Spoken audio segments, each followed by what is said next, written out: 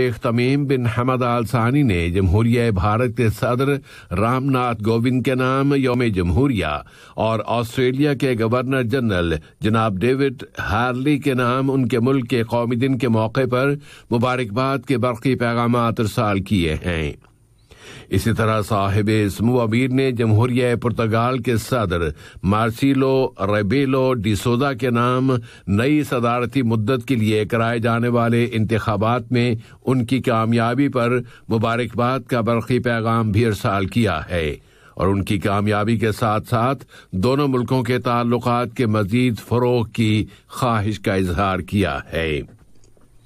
इसी तरह वज़ीर आज़म, वज़ीर दाखिला शेख खालिद बिन खलीफा बिन अब्दुल अज़ीज़ आल सानी ने जमहूरिया भारत के वज़ीर आज़म जनाब नरेंद्र मोदी के नाम योम जमहूरिया और ऑस्ट्रेलिया के वज़ीर आज़म जनाब स्कॉट मॉरिसन के नाम, उनके मुल्क के कौमी दिन के मौके पर मुबारकबाद के बरकी पैगाम रवाना किए हैं।